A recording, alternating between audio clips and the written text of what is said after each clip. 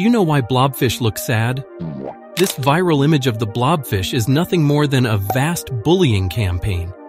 The fish only looks like a miserable pink lump when it has been torn from its home and suffered devastating tissue damage due to the rapid depressurization as it was dragged to the surface.